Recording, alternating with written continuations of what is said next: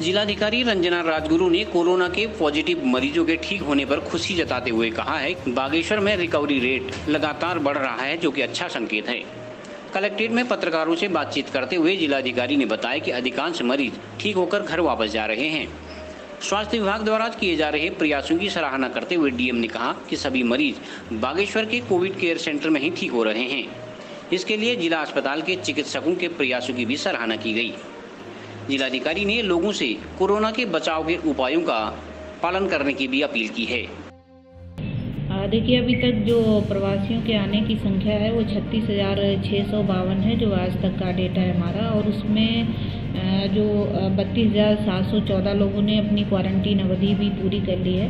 और शेष लोग डिफरेंट टाइप की क्वारंटीन सेंटर्स में रह रहे हैं। और अभी जनपद में अभी तक हमारे 93 पॉजिटिव केस आ चुके हैं और जिसमें से 80 लोग ठीक हो गए हैं, यानी वो डिस्चार्ज हो चुके हैं हॉस्पिटल से और एक डेथ है और 12 केस अभी एक्टिव हैं। तो उनका हमारे डिस्ट्रिक्ट हॉस्पिटल में जो कोविड हॉस्पिटल है, उन पे उनका उपचार चल रहा है। और अभी भी हमारा जो स्टेजिंग एरिया है, वहाँ पे हमारे इंसिडेंट कमांडर्स और सारी टीम लगी हुई है।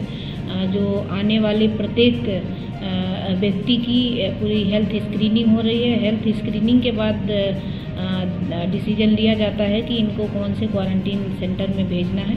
तो अभी कार्रवाई हमारी गतिमान है और आशा, एनम और आंगनबाड़ी वर्कर का जो सर्वे है वो भी लगातार चल रहा है और जो रैपिड किट के माध्यम से टेस्टिंग की प्रक्रिया है, वो भी डिस्ट्रिक्ट में गतिमान है ताकि कम्युनिटी में कहीं ऐसा फैलाव तो नहीं है, ये हमें पता चल सके।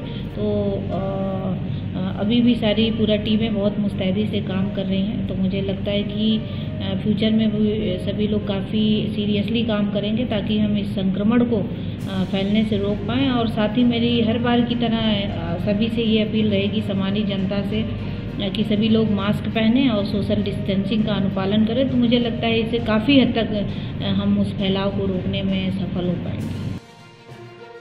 न्यूज़ के लिए सुस्मिता थापा के साथ सुरेश पांडे की रिपोर्ट।